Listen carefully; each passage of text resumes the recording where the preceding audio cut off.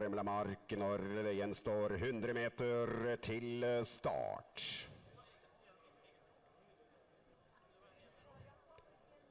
Der slipper bilen i veifeltet feilfritt innledningsvis for nummer én Viking Vabene.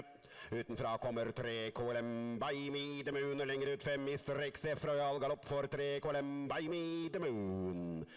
Fem Mr. XF Royal opp på utsiden av en Viking Vabene i rygg på lederen Arvin i Win Me Credit. Som på utsiden har to Mysterious. Fram via sporene seks Oskar i åtte Rollin. En Viking Vabene kjører i teten til 500 meter med Viking Vabene som åpner kilometeren på 1.09. En Viking var benet med 1000 meter igjen og trava hardt på utsiden. Seks Oscar Ribby, rygg på lederen i Win Me Credit. Tredje innvendig ti seier Gammel Spekkan. Utvendig fem Mr. XF Royal. Tredje utvendig på nummer to Mysterious. Fjerde par utvendig har fire Hitchcock, og så hektes det hjul, og så er det løs hest. Løs hest. Nei, nei, nei, nei, nei. Uff, det er vondt å se. Håper at det går bra med Geir Mikkelsen som detter av Seier Gammelspekk. Vi skal spole filmen tilbake. Seier Gammelspekk eh, sparker oppi til uh, Win Me Credit. Ordentlig sete. Han er så høy i taket og oppi ryggen til Frode Hamre. Det slipper. Og det må jo hukes uh, Jørn, vi kan ta en titt på det en gang. Uh, Uff a meg. Det går bra med Geir, for han detter nesten på beina. Ja, Han er på beina, det er vi glad for. Og så skal vi fange Seir Gammelspekk uten uh, at det blir noe galt med han. Du sitter veldig lavt i disse bikene. Han har uh, Skal kjøre det en gang eh, til. Forbasket ergerlig at det blir slikt.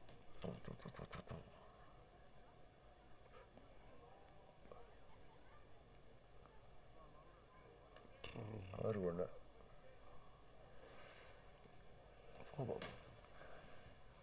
Håper at det går bra med hesten.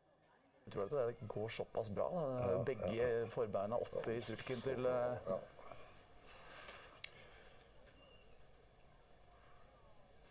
Ikke sånn, da. Kan se på det en gang til. Det er eh, så springer han inn bak banen. Da får vi bare håpe han er Bommen der nede. eh, det, Står på setet.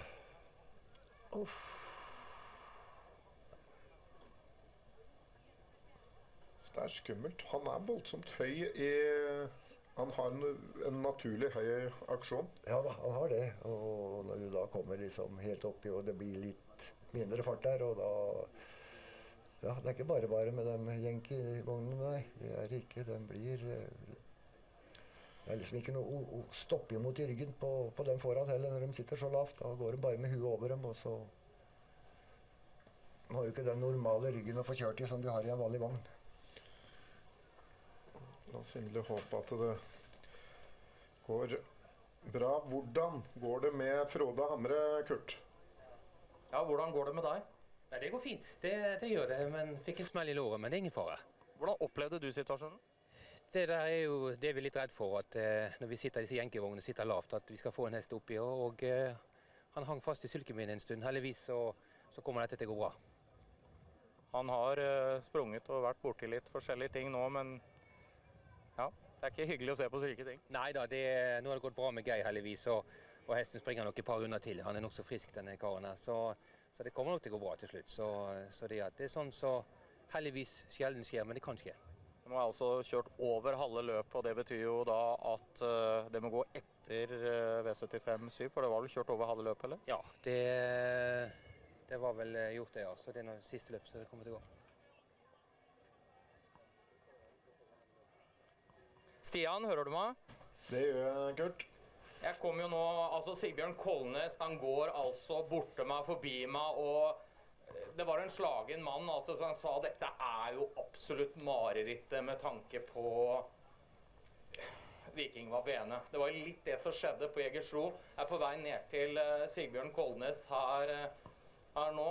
Nå må dere holde, følge, holde øye på det som skjer i banen, men jeg regner med at vi kanskje kan ta en eh, Kjør på. Regner med du har rimelig kontroll på den situasjonen, eller? Bare kjør på.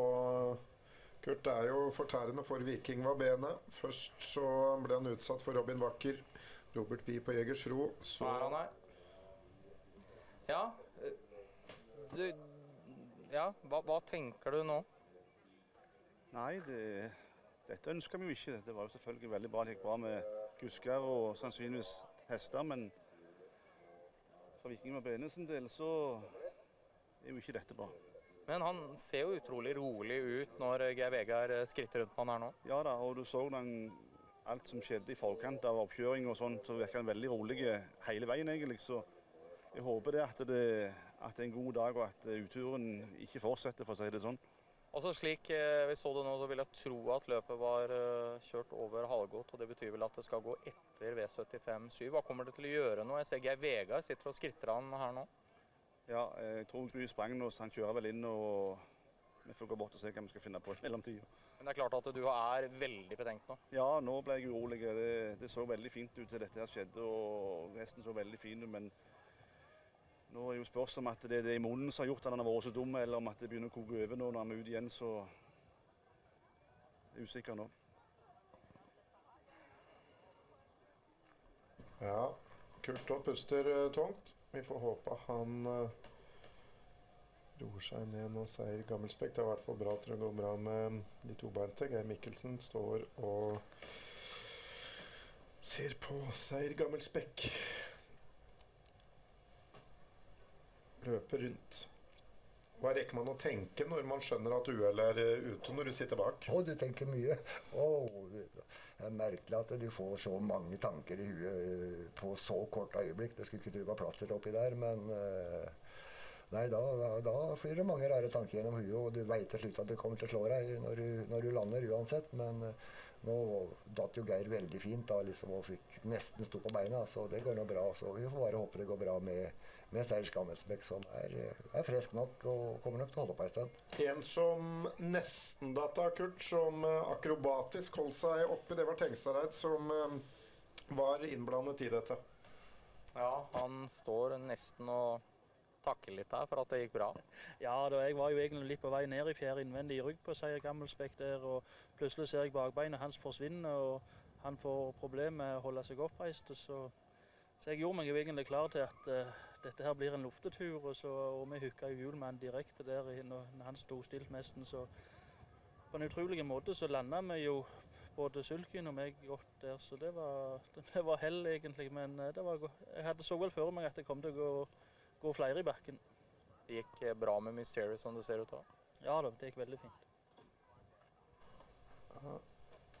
Vi skal se på det i en slow, uh, Asbjørn. Når, når hestene henger fast, for en utrolig evne de har til å ikke bare ramle. Ja, helt klart. De gjør alt i verden de kan for å, for å holde seg på beina. Så det er eh, helt Her springer han jo to stive frambein og springer på bakbeina. Og så og slipper det, og da, da koder han jo over bak og er helt nede men enda så truer han seg opp igjen.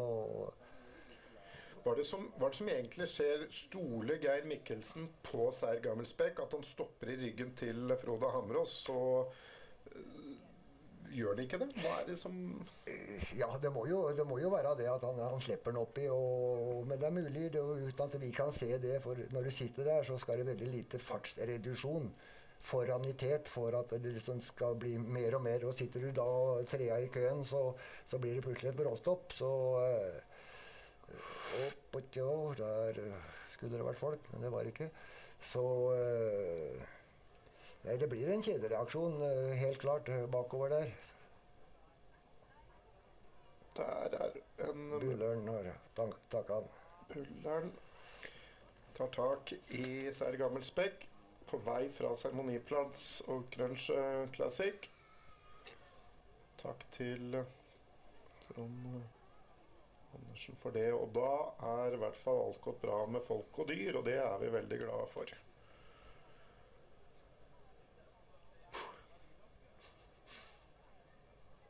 Er kjedelig. Det grunnen rart det ikke skjer mer. Såpass små marginer det blir kjørt på. Fartsdempinger og, og galloper hit og dit og halvsporkjøring og det som er. Så eh, det er klart det redder mye at de kjører samme, fart, samme veien i nesten samme farten, men eh, vi kjører generelt for trangt. eh, i, i løpet. Det er liksom ikke så om å gjøre å blåholde på akkurat den halvmeteren som, som ser ut som er veldig viktig. Og, de Er det noe de som du synes har blitt verre med åra? jeg syns det har blitt verre med åra. Eh, For nå liksom ja, Før så satt vi med solide vogner, du visste reglene, du var mer obs. Da var det gaffelen foran og vekk med en, og, og vice versa. Men eh, jeg syns de kjører på unødvendige små, små marginer nå. og Pluss at det da, da er noen som er livredde. De skal ha tet, og når plan B da ikke er der, så står de i bøyrene og drar, og så blir det kjedereaksjoner bakover. Og da, da må noen hive ut sider og inn og det som er. og ja, unødvendig eh, trang kjøring om, om de posisjonene som de tross alt eh, får med litt grann mer eh, ja, fleksibilitet og, og tenke litt.